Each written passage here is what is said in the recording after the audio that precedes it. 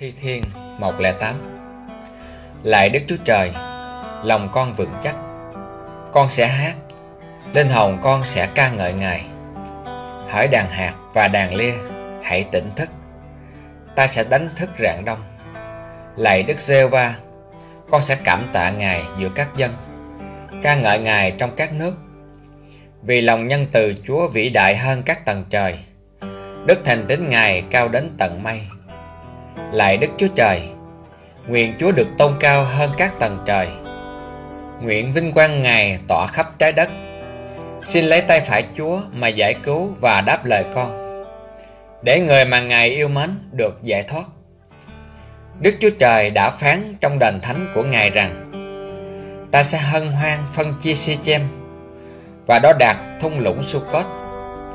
Galaad thuộc về ta, Manasseh cũng vậy. Ephraim là đồng lũy cho đầu ta. Judah là vương trượng của ta. Moab là cái bồn rửa của ta. Ta ném giày ta trên Edom. Ta cất tiếng reo mừng về đất Philippines Ai sẽ đưa con vào thành vững bền? Ai sẽ dẫn con đến đất Edom? Lại Đức Chúa Trời, Chẳng phải Chúa là đấng đã từ bỏ chúng con sao? Lại Đức Chúa Trời Chúa không còn ra trận với đạo quân chúng con nữa. Xin Chúa giúp đỡ chúng con chống lại kẻ thù. Vì sự giúp đỡ của loài người là vô ích. Nhờ Đức Chúa Trời, Chúng con sẽ chiến đấu dũng cảm. Vì chính Ngài sẽ dày đạp kẻ thù của chúng con. Gia cơ, chương 5 Bây giờ, Hỡi anh em là những người giàu có, Hãy khóc lóc, Kêu vang, Vì sự cùng khốn sẽ đổ xuống trên anh em. Tài sản anh em đã bị mục nát, Áo quần bị mối mọt ăn. Vàng bạc anh em đã bị gỉ sét. Chất gỉ sét đó sẽ là bằng chứng chống lại anh em Và sẽ ăn thịt anh em như lửa đốt. Anh em đã lo tích trữ cho những ngày cuối cùng. Này, Tiền công của những thợ gặt thuê trong ruộng anh em Mà anh em đã gian lận, Đang kêu oan. Và tiếng kêu của những thợ gặt ấy Đã thấu đến tay của Chúa Toàn Năng anh em đã sống xa hoa, Hoang lạc trên đất này. Anh em đã nuôi béo lòng mình Trong ngày tàn sát. Anh em đã kết án và giết người công chính Mà người ấy không kháng cự anh em. Vì vậy, Thưa anh em, Hãy kiên nhẫn cho đến ngày Chúa quan lâm. Hãy xem người nông dân chờ đợi sản vật quý báu của đất. Kiên nhẫn cho đến khi nhận được mưa đầu mùa và cuối mùa. Anh em cũng vậy Hãy kiên nhẫn, Hãy vững lòng. Vì ngày Chúa Quan Lâm đã gần rồi. Thưa anh em, Đừng phiền trách nhau, Để anh em khỏi bị phán xét. Kìa, Đấng phán xét đang đứng trước cửa. Thưa anh em, Hãy noi gương chịu khổ và kiên nhẫn của các nhà tiên tri, Là những người đã nhân danh Chúa mà nói, Này, Chúng ta gọi những người kiên định là có phước. Anh em đã nghe nói về sự kiên định của giấc và thấy được mục đích của Chúa vì Chúa đầy lòng xót thương và nhân từ. Nhưng trước hết, thưa anh em của tôi, chớ thề thốt, đừng chỉ trời, chỉ đất hoặc bất cứ vật gì khác mà thề, nhưng phải thì nói phải, không thì nói không, để anh em khỏi bị phán xét. Có ai cho anh em bị đau khổ chăng? Người ấy hãy cầu nguyện. Có ai vui mừng chăng? Hãy ca ngợi. Có ai trong anh em đau ốm chăng? Người ấy hãy mời các trưởng lão hội thánh đến. Họ sẽ nhân danh Chúa cầu nguyện và sức giàu cho người bệnh. Sự cầu nguyện bởi đức tin sẽ cứu người bệnh. Chúa sẽ đỡ người ấy dậy. Nếu người bệnh có phạm tội, cũng sẽ được tha. Vậy, hãy xưng tội cùng nhau và cầu nguyện cho nhau để anh em được lành bệnh. Lời cầu nguyện của người công chính có quyền năng và rất linh nghiệm. Eli là người có cùng bản chất như chúng ta. Ông nhiệt thành cầu xin cho đừng mưa thì không có mưa rơi xuống đất trong ba năm rưỡi.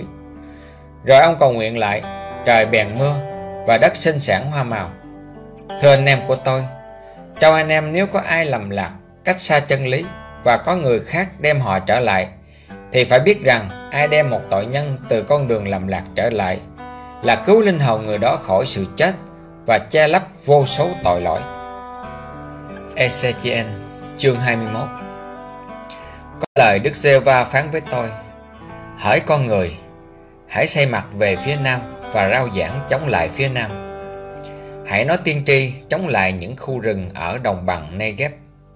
Hãy nói với rừng Negev rằng, Hãy nghe lời của Đức giê va Chúa giê va phán, Này, ta sẽ nhen lửa trong ngươi, Lửa sẽ thiêu đốt tất cả cây xanh Và cả cây khô nơi ngươi. Ngọn lửa sẽ không tắt. Mọi khuôn mặt của nó sẽ bị đốt cháy từ Nam chí Bắc. Mọi xác thịt sẽ thấy rằng Chính ta, Đức giê va đã nhen lửa lên Và lửa ấy sẽ không hề tắt. Bây giờ tôi nói Ôi lại Chúa giê va Họ nói về con rằng Chẳng phải nó là kẻ làm ra những ẩn dụ sao? Có lời Đức giê va phán với tôi Hỡi con người Hãy xây mặt về phía Jerusalem, Rao giảng chống lại các nơi thánh. Hãy nói tiên tri chống lại đất Israel. Hãy nói với đất Israel rằng, Đức giê va phán, Này, ta chống lại ngươi. Ta sẽ tuốt gươm ra khỏi vỏ để tiêu diệt người công chính lẫn kẻ gian ác khỏi ngươi. Vì ta sẽ tiêu diệt người công chính lẫn kẻ gian ác khỏi ngươi, Thì gươm ta cũng sẽ tuốt khỏi vỏ để tiêu diệt mọi xác thịt từ Nam chí Bắc. Và mọi xác thịt sẽ biết ta, Đức giê va đã tuốt gươm khỏi vỏ thì sẽ không nạp trở vào nữa. Hỡi con người, Con hãy than thở với lòng đau thương. Phải, Hãy than thở trước mắt họ cách đắng cay. Nếu họ nói với con, Tại sao ngươi than thở? Thì con trả lời rằng, Vì tin tức được lan truyền khiến mọi lòng đều tan chảy, Mọi tay đều yếu đuối. Mọi trí đều mỏi mòn, Mọi đầu gối đều yếu như nước. Này, điều đó sắp xảy ra Và sẽ trở thành sự thật. Chúa giê va phán vậy, Lại có lời Đức giê va phán với tôi. Hỡi con người, Hãy nói tiên tri rằng, Đức giê va phán, Hãy nói rằng Một thanh gươm Một thanh gươm nhọn và sáng. Nó nhọn để chém giết Nó sáng chói lòa như chớp. Chúng ta có nên vui mừng chăng? Cây gậy của con trai ta khinh thường mọi cây khác. Người ta đã trao thanh gươm này để mài cho sáng, Để cầm trong tay. Đó là thanh gươm nhọn Và sáng đặt vào tay kẻ chém giết. Hỡi con người, Hãy kêu la và than thở vì gươm ở trên dân ta. Ở trên mọi nhà lãnh đạo Israel Là những kẻ đã bị phó cho gươm cùng với dân ta. Vì thế, hãy vỗ đùi, Hãy xem xét, Nếu con coi thường cây gậy, Liệu điều đó sẽ không xảy đến sao? Chúa giê va phán vậy. Hỏi con người, Vậy con hãy nói tiên tri đi, Hãy vỗ tay, múa gươm đôi ba lần. Đó là thanh gươm giết hại, một thanh gươm giết chết vô số người đang vây phủ chung quanh, để làm cho lòng họ tan chảy và gây vấp ngã ta đã đặt gươm ngâm đe mọi cửa của họ. Ôi thanh gươm được làm cho bóng nhón bén nhọn để giết người. Con hãy tham gia tấn công bên phải và dàn trận bên trái tùy nơi mặt con hướng về. Ta cũng vỗ hai tay và khiến cơn giận ta nguôi đi. Chính ta, Đức giê va phán vậy. Lại có lời Đức giê va phán với tôi. Hỏi con người con cũng hãy vạch cho mình hai con đường Để cho thanh gươm của vua nước Babylon đi qua Hai con đường ấy đều xuất phát từ một vùng đất Tại mỗi đầu đường Con cũng hãy làm một bảng để chỉ đường đi vào thành con hãy vạch một con đường cho gươm đi qua hướng về Rabba, thành của con cái Amon. Và một con đường hướng về Juda tại Jerusalem là thành bền vững. Vì vua Babylon đứng tại ngã ba là nơi vào hai con đường ấy để bói quẻ. Vua lắc những mũi tên, cầu hỏi các thần tượng và xem xét lá gan. Trong tay phải của vua có quẻ bói về thành Jerusalem, bảo dùng máy phá thành ra lệnh chém giết, cất tiếng hô xung trận, dùng những máy phá thành để tấn công vào cổng thành, đắp lũy và lập đồn bao vây thành. Những kẻ đã thề nguyền xem những quẻ bói chỉ là những lời giả dối, nhưng vua thì sẽ nhắc cho họ nhớ lại việc gian ác mình, khiến họ bị đi lưu đày. Về nên Chúa giê va phán, vì các ngươi đã được nhắc đến để nhớ lại sự gian ác mình. Tội lỗi bị vạch trần, lỗi lầm trong mọi việc làm bị lộ ra. Vì các ngươi được nhắc tội lỗi ấy nên các ngươi sẽ bị bắt đi. Về phần ngươi là vua chúa Israel, kẻ gian ác đáng chết kia, ngày của ngươi đã đến, giờ trừng phạt đã gần. Chúa giê va phán, hãy cất mũ, lột vương miệng đi, những thứ này không còn như trước nữa. Cái gì thấp sẽ được nâng cao, cái gì cao sẽ bị hạ thấp. Đổ nát, đổ nát, đổ nát. Ta sẽ làm điều ấy. Điều ấy chẳng bao giờ xảy ra cho đến chừng nào đấng đáng được quyền xét xử đến thì ta sẽ giao cho người. Hỡi con người, hãy nói tiên tri về con cái Ammon và sự khinh lờn của chúng rằng Chúa giê va phán. Hãy nói, thanh gươm, thanh gươm đã tuốt ra để tàn sát, được mài sáng như tia chớp để hủy diệt. Đang khi chúng thấy khả tượng sai lầm, bói quẻ dối trá cho ngươi, thì chúng đặt ngươi trên cổ kẻ gian ác đáng bị hủy diệt. Ngày của chúng đã đến, thì giờ trừng phạt chúng gần kề. Hãy nạp gươm ngươi vào vỏ, ta sẽ phán xét ngươi trong nơi mà ngươi được dựng nên, trong đất mà ngươi được sinh ra. Ta sẽ đổ cơn giận ta trên ngươi, lấy lửa thịnh nộ ta mà thổi trên ngươi, và ta sẽ phó ngươi trong tay những kẻ tàn bạo, bọn đồ tể. Ngươi sẽ làm mồi cho lửa, máu ngươi sẽ đổ trên đất, và người ta sẽ không còn nhớ đến ngươi nữa vì chính ta, Đức Giê-va đã phán. Ezechiel chương 22 Có lời Đức Giê-va phán với tôi, hỏi con người, có phải con sẽ phán xét? Có phải con sẽ phán xét thành đẫm máu này chăng? Vậy thì hãy làm cho nó biết mọi điều ghê tởm của nó. Hãy nói với nó, Chúa Giê-va phán, một thành làm đổ máu ở giữa nó đã đến kỳ định. Nó đã làm các thần tượng để tự làm ô uế mình. Ngươi trở nên tội lỗi bởi máu ngươi làm đổ ra và trở nên ô uế bởi các thần tượng mà ngươi đã làm ra. Như vậy, ngươi đã làm cho những ngày của ngươi gần hơn và những năm của ngươi đến mau hơn. Vì thế, ta đã làm cho ngươi thành nỗi ô nhục cho các dân tộc, làm trò cười cho tất cả các nước. Những người ở gần cũng như ở xa sẽ nhạo cười ngươi là thành ô nhục, đầy rối loạn. Hãy xem, các nhà lãnh đạo Israel trong ngươi mỗi người đều dùng quyền lực làm đổ máu. Nơi ngươi, người ta khinh thường cha mẹ. Nơi ngươi, người ta ngược đãi khách lạ. Nơi ngươi, người ta hà hiếp kẻ mồ côi cùng người quá bụa. Ngươi coi thường các vật thánh ta và vi phạm các ngày sa bát ta. Nơi ngươi có những kẻ vu khống nhằm gây đổ máu. Nơi ngươi có kẻ dọn tiệc trên các núi. Giữa ngươi có kẻ phạm tội tà dâm. Nơi ngươi có kẻ phơi bày sự lõ lồ của cha mình. Nơi ngươi có kẻ làm nhục đàn bà đang kỳ kinh nguyệt.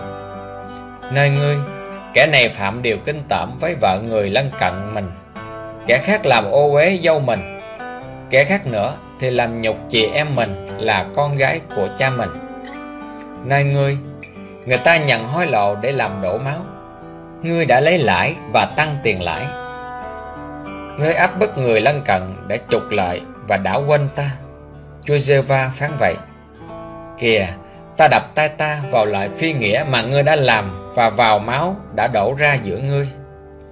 Đến ngày ta xét xử ngươi, liệu lòng ngươi có chịu được và tay ngươi có đủ sức chăng? Ta, Đức giê va đã nói thì ta sẽ thi hành.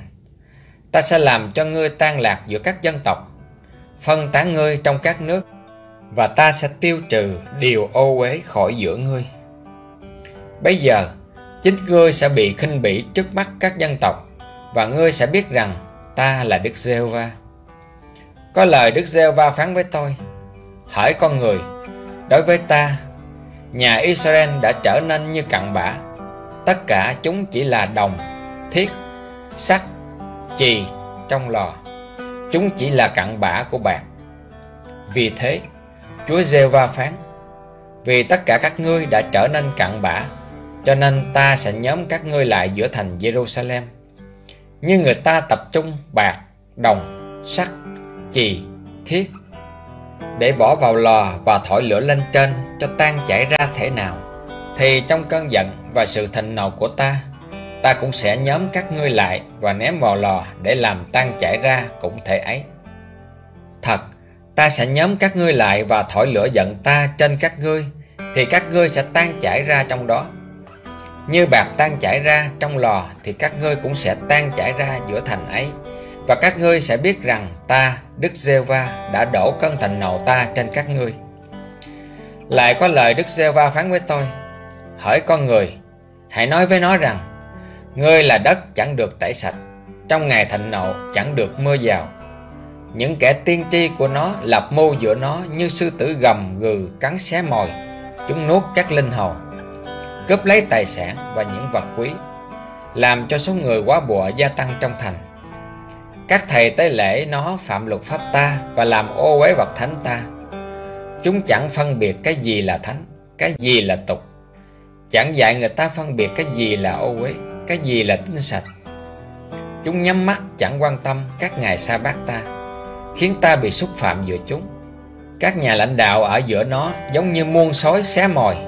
Chúng chỉ lo làm đổ máu, làm mất linh hồn để được lợi bất nghĩa các kẻ tiên tri nó tô voi chát phấn trên chúng bằng những khải tượng hư không và bói khoa gió trá.